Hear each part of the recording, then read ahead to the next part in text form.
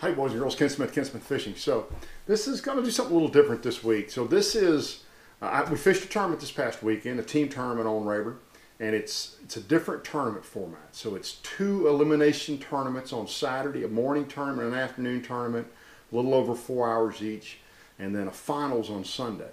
And I hadn't been on the lake in several weeks.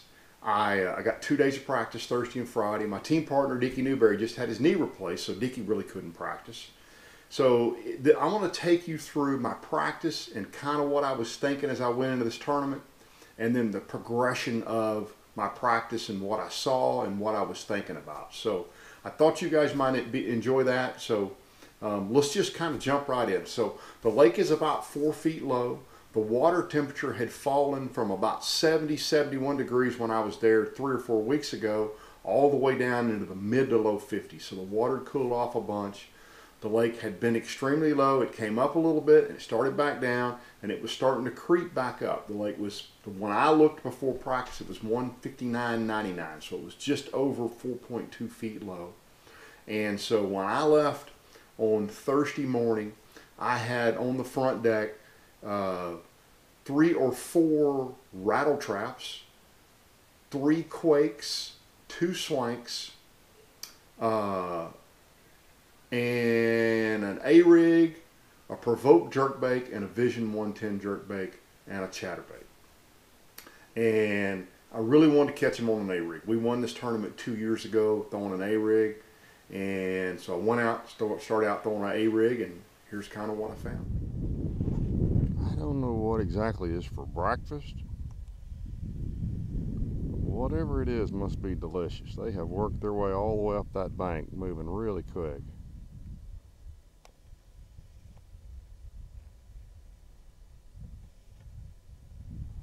Shooting that freehand, so I apologize if it's a little shaky, but that little group of guys and girls is working.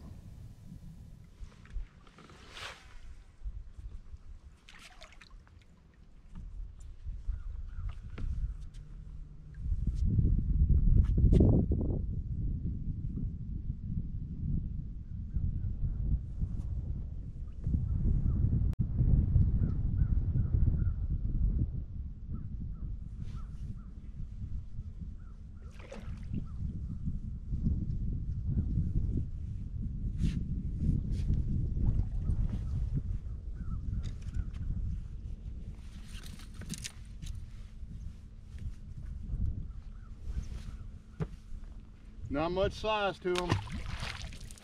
Right in the middle of the drain.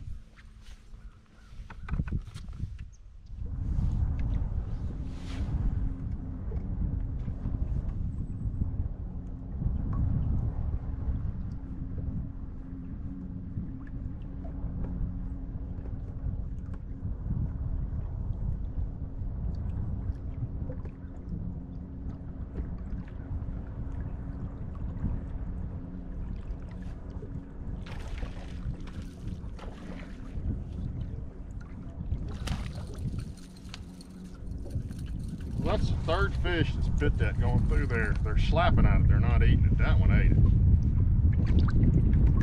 Quality keeper. That's all it is.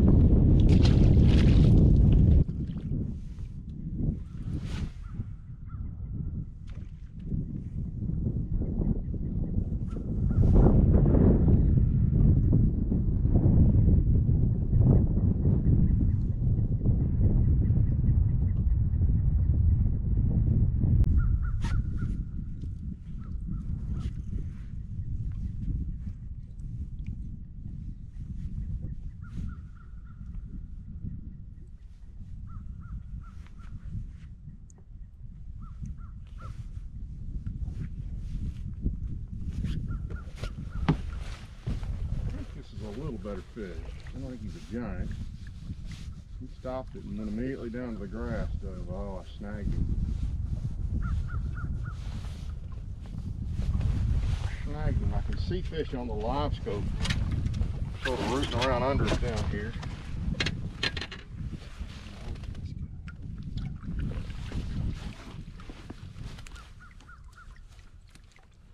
I was really creeping that bait when that fish Probably ran up there and swiped at it.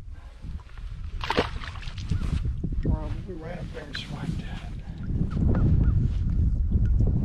So I suspect y'all are starting to notice the theme. Same theme I noticed. Lots of small fish.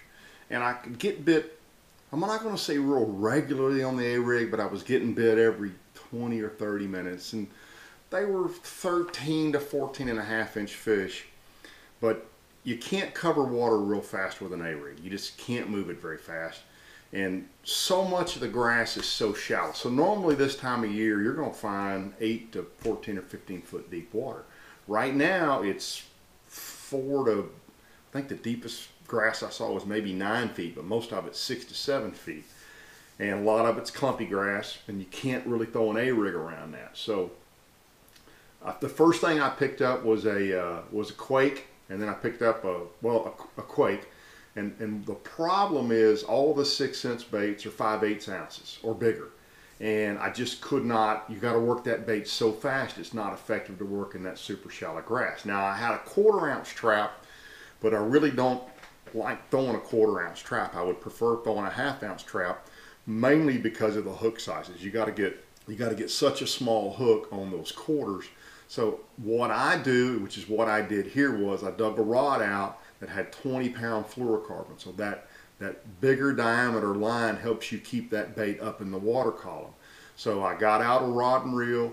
Uh, it's a, it's, and I'm going to talk more about this rod in the future. I think I finally found kind of my ultimate loose rattle trap rod, and I'll tell you all about that later because I'm still playing around with a couple of them.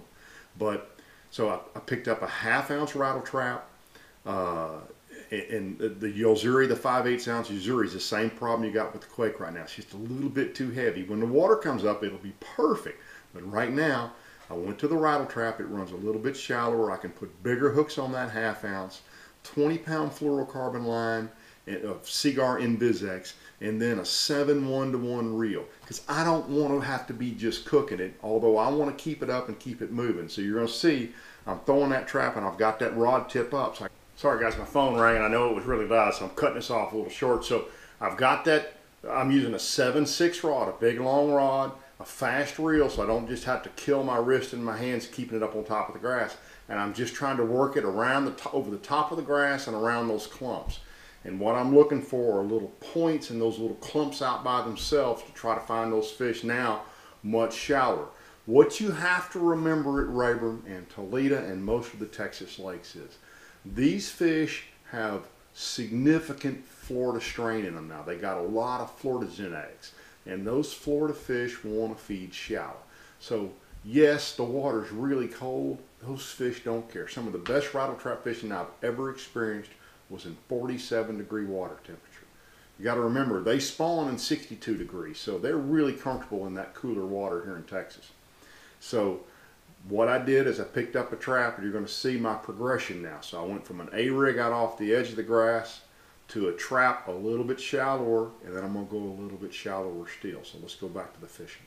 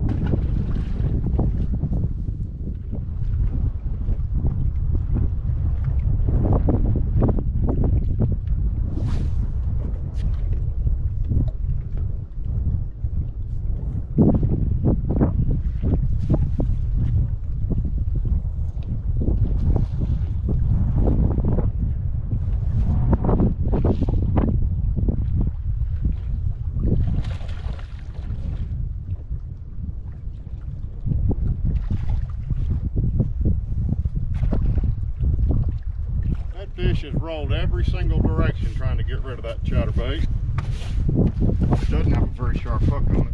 One I lost that fish a minute ago. That's a nice one right there. These fish got sharp. There you go. Five of those Saturday morning, five of those Saturday afternoon. We'll get you in the winner's bracket Sunday.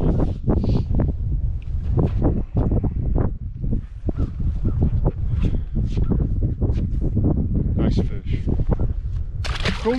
Five pounder. So let's stop right there, partly because I'm pretty tired, partly because I got a lot of footage. I'm going to break this up and do three parts like I did last week. So we'll do a part to it today, a part tomorrow, and a part, I guess that'll be Friday. Uh, I know a lot of you guys are coming to the lake to fish the Keith, Keith Combs and the Bass Cat Owners Tournament, so I'll have all this up for you this week. But that's my progression, a little bit shallower every day, and you're going to see we, we, we I find a group of fish, and, and we got a little bit lucky, and I'll talk about how we got lucky too. So thanks for tuning in. Please subscribe if you don't. Mash that subscribe button. Click the bell to give you notifications every time I post a new video so you see them quick. And I really appreciate you guys' support uh, on all of my sponsors, whether it's Waterland Optics or 6th Sense or Tackle Warehouse using the codes below. Uh, that helps pay my bills so that I can do these videos for you guys. And I got more boat reviews coming up as well. So thanks for tuning in. I'll see you guys tomorrow.